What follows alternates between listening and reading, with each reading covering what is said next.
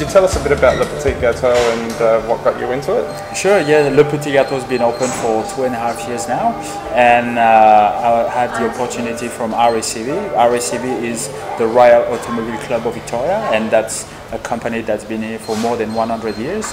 And uh, opportunity came that to open a premium pastry, pastry shop in Melbourne, and it, it, it is uh, two and a half years later. It's been quite successful and very constant, and uh, it, now I'm very happy with the outcome so far. And what do you have to offer here? Uh, basically, what to offer compared to the like, to the competition in Melbourne is I want to, to show like a different finishing product. Uh, you know, the Australian pastries are, uh, you know, I would say. Uh, uh, not as advanced as France or, or, or, or, Japan or cities like New York or in Las Vegas.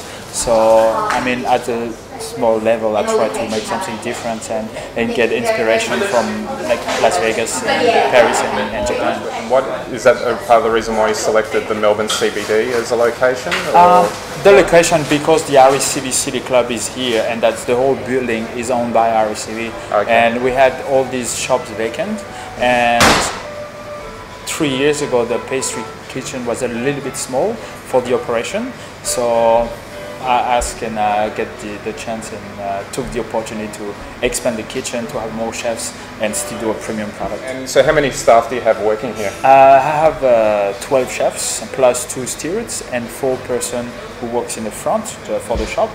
Plus, we have trainees. So we have a full-time 18 plus trainees and, and work experience. We can go up to 25. Are there any um, cakes or desserts that are uh, the most popular? Uh, yes, absolutely. Uh, we have the Black Beauty. That's uh, this one. It's a, gluten-free cake because now we have a lot more demand for gluten-free and uh, and uh, celiac and dairy products. so this one is a chestnut sponge, okay. Uh, flourless, with a milk a dark chocolate mousse with a black currant cream in the middle and a vanilla creme brulee and a little dome of a chestnut.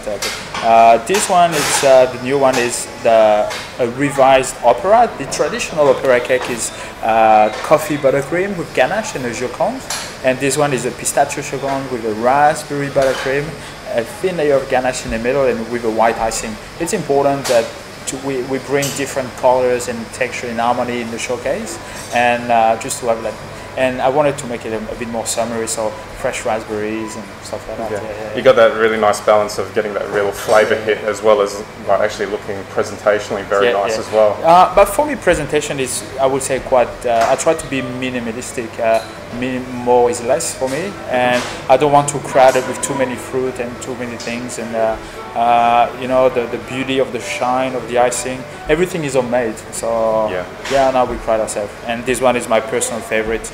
That's the hazelnut milk chocolate millefeuille. Ah, yes. So it's a crunchy layer, a Dujac creamy, uh, dacquoise, and uh, milk chocolate chantilly. Yeah, so yeah, that, that's my personal favorite. Okay. Yeah, yeah, Do you have any uh, corporate and business orders, and what sort of cakes get yes, ordered the yes. most? We have a lot uh, because we are in the CBD at this end of the city and we have a lot of corporate uh, lawyers, uh, a big company uh, just next door. We're surrounded by big building, and uh, with like 40, 50 floors of offices and, and birthday parties, and uh, so yeah. a lot of architect, lawyers, uh, solicitors. so yeah, it's, it's quite busy. Oh, Plus, we have 30,000 members from RACV that right. come, come here as well. So Wow, that's a, that's a big clientele, yes, isn't yes, it? Yeah. yeah so can you tell us a bit about your personal background and experience? Sure, yeah, yeah. yeah. Uh, I started working at 15. Uh, then I did a, a, a, apprenticeship for, for two years. Then after I worked and did Les Compagnons du Devoir, which is a work association in France. So I worked in Strasbourg for a year then I work in Brussels. Brussels, I work for Pierre Marcolini, which is a well-known chocolatier. Yeah. Then after I moved, uh, I went back to France where I, I, had to do the army. Then I work in Reims where they do the champagne. Then went to Bordeaux for a year still with the same association. So and then I finished with that for five, for five years after. Then I worked uh, for Club Med in Italy, and I went to Israel as well. Wow. And uh, then after, uh, moved to California. Then I worked in Palm Springs for five years, and well, I met my wife over there and so on.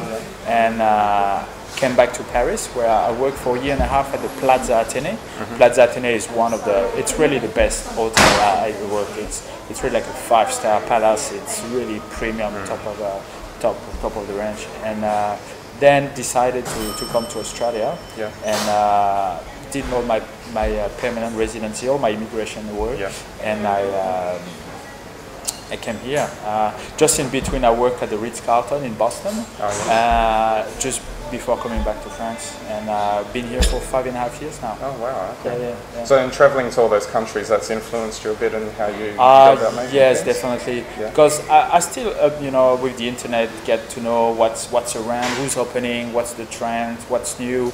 But I, I don't want to copy. So by working in the US and here and been to uh, to Asia. So I just recently came back from Japan. Yeah. that was my second trip. You know, I try to because I don't want to copy. So I, I you yeah. know, I try to do different things and uh, and as well to make it uh, viable for the market where I, where I am here in Australia. Uh, there's there's no point of if I want to do some a petit four or cake like in Japan or Las Vegas or Paris, if there's too much work and you know that's that's not viable. So I have to keep it everything under the scheme and look at everything. Okay, is the ratio is you know. Prof- profitability as well, but uh, uh, the production side as well. Yeah, uh, I'm not going to spend uh, six hours to you know to do a uh, four or five liter cake. That, that's not relevant and, and that, yeah. that, that's not the demand here. So it yeah. needs to be quite uh, productive, clean cut, sharp, good flavors. Yeah. Then yeah, the rest will follow. Yeah. Okay. So do you have any other projects or business ideas or anything else that you? Yes. yes. Uh, absolutely. Well, first, uh, the shop Le Petit Gâteau should be expanding. But as well I'm, I'm looking to open my own uh, pastry shop uh, early next year, still in Melbourne, uh, not, not in the city, but uh, I'm looking to, to expand to a lot bigger and even franchising. Uh, my idea will be very contemporary, very modern. Yeah. Uh, nothing like that in Melbourne. So because as well, I want to, to, to be different than the competition. Uh, then of course I'm not going to duplicate something like that because first it's RACV. Uh, even if I I was at the base of the project and getting the idea and created all the ranch, but I want to make something different. Yeah, that's that's, that's exciting. Oh yeah. Not only copy and paste and bam. Yeah, it keeps your mind creative. Exactly. Yeah. Otherwise you just otherwise you do the same product for 20 years and, and and you don't interest anyone. Yeah. So yeah, yeah. So is there like one particular thing that you want your customers here to take away when um, you know they come and visit uh, Le Petit Gâteau? Um, you mean on my new shop or for here? Or? Uh, for this one here, yeah. For is, here? There, is there anything you want them to experience or feel or anything? Oh yeah, uh, often the feedback is, oh yeah, well, amazing cake, great cake, and, and again, that, that's different what, what's offered around. So, and, and with that comment, I'm, I'm pleased uh, because I want to be different. That, that the things. Uh, and uh, Melbourne is such a great market because it, it's really boiling, it's really evolving, it's really going up uh, for the past few years. It, it's really improving and uh, it's a lot better. Yeah, so people travel more and, and know more about good food and, and are more demanding. Yeah which is keep us on our toes. Oh, absolutely, yeah. well, thanks very much again for being interviewed yeah, yeah. for no, us. No, no, yeah. it's pleasure. Okay. pleasure.